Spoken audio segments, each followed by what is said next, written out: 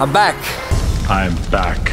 Well, not exactly back. I got invited today to shoot one last vlog to round up the whole Inside EUMETSAT series that I shot over the summer. So this will be a bonus vlog, I suppose. I plan on talking to a few people today about early career opportunities at EUMETSAT.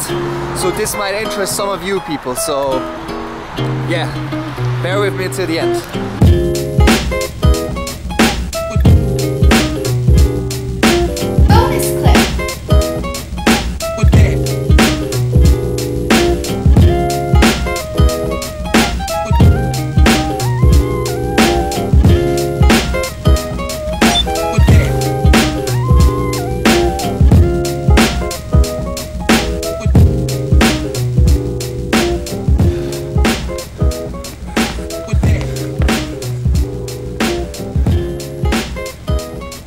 Monsieur Adamson, Brody Adamson. That's right? Yes. Nice to meet you, Jonas. Hi, Jonas. Nice to meet you. So, I got invited uh, today by um, Monsieur Paul Counet to talk about uh, career opportunities. He told me that uh, EUMETSAT has set up a specific program, which is called the ECP, the Early Career Program, and told me Monsieur Adamson is responsible for this program. So maybe you can have a few words about the Yeah, no program. Problem. Um, so the, the Early Career Program, or uh, ECP, as you called it, yeah. Um, it's a, a two-year entrance um, scheme into EUMETSAT, Okay. uh, where we identified um, several posts which we normally would recruit for in two years as a normal staff position, um, and then we advanced these two years and we looked for um, younger profiles that could occupy these these roles for 2 years to take a development approach. So we developed these these junior engineers over a two year period, um, and then hopefully, um, if everything goes well, uh, they would. Um, transform, I guess you might say, uh, into a full staff member after these two years are up. So this is the purpose of uh, this training program. After the two years, they take in the position, if I understood it. Yeah, so it's a bit different than other. Um, I know many companies have sort of an early career program, right? Okay. But it's often one year internship um, sort of situation where you don't have any um, any assurance of a job afterwards. But Yeah. here, I mean, if you come in and you're good um, after these two years, um, yeah, there's a position. Okay, sounds uh, very encouraging to me. So, Miruna, um, how has it been so far? When did you start it, the early career program? So I started on the 1st of September this year, like Okay. what, four months ago. I'm a junior, junior computer science engineer, so I occupy one of these four ECP posi- positions. Uh, so far, so good. I'm quite happy. Okay. Uh, it is challenging at times. I have to learn a lot of new things, but it's good because I have people that teach me as well. Okay, so you have a specific uh, mentor or somebody that tracks your progress, I guess. Uh, Yes, yes, I have a reporting officer, just like a normal um, staff member of EUMETSAT, uh, that gives me the, uh, the the work task, let's say, and that tracks my progress. And then I have also a mentor that gives me career advice.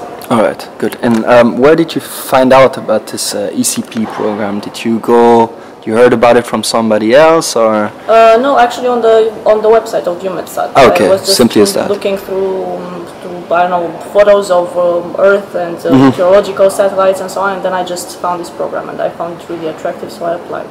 Okay, very interesting. So, how do you apply exactly, uh, Brody? What's the ideal academic uh, profile that is required to enter such a There's program? no ideal academic profile. I mean, we expect somebody to have completed university studies within an area relevant for one of these positions. So Miruna is a junior computer science engineer, um, and she studied computer science.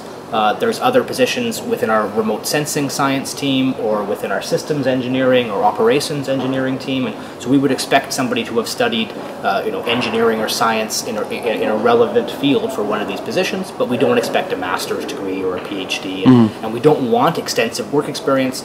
Uh, we'd like people who, who have, have left university recently, maybe got their first experience in an internship, um, and then um, come here with a real strong learning orientation um, to develop themselves over the, these two years, to learn from some very experienced mentors who will be retiring um, recent or shortly, um, and then hopefully, uh, if everything goes well, um, and all parties are happy to um, take over one of these staff positions we've identified within two years. Okay, good.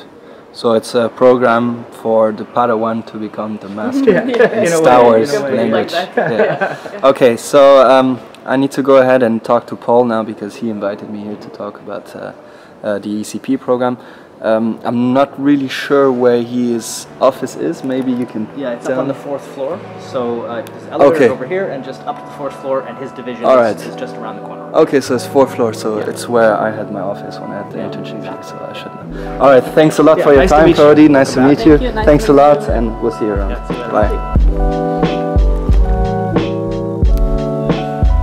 So, if I remember it right, Paul's office was this one. There we go. Monsieur Counet, ah, how's it going? Welcome back. Thanks a lot. Thanks for having me back here. Nice to see you. Have a seat. So, I've just talked to Brody Adamson and one of the engineer about the so-called ECP Early Career Program, and I've come to you to wrap all this vlog up to talk about uh, maybe you have a final word about this program. Why have you set it up?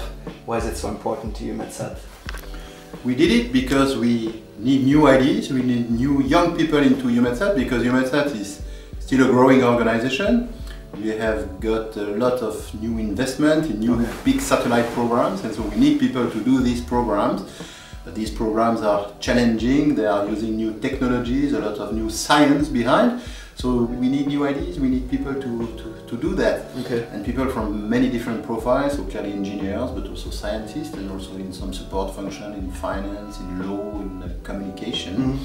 So that's uh, the purpose of the early career program, and uh, I think it's still very attractive because EUMETSAT, on top of being young and dynamic, is also working on themes which are of very high interest. We are dealing with the monitoring of our planet and with the climate change and the weather, so it's very attractive for young people as part of staff, they can come as staff, they can come as part of the early career program, but you also for youngest people uh, proposing internships in EUMETSAT. So Yeah. there are many different ways to start a relationship with our organization. So basically, one message is come and join us, and if you cannot apply as a staff or even as an earlier career program, we have also other uh, mechanisms like the internship. So even if you are a young student, you can join us and have a pay and experience with EUMETSAT through this internship program. And I'm the living proof of it because uh, I have a really fantastic experience here with this internship uh, over the summer. I mean, the vlogs also is the proof that uh, people here are really receptive to your ideas and it's a really progressive uh, organization. I will encourage you to really apply here and uh, they will welcome you with arms open. I'm gonna wrap this uh, vlog up now. I hope this video has inspired some of you to uh, apply here So one word, visit our website and join us. Exactly. See you. Ciao.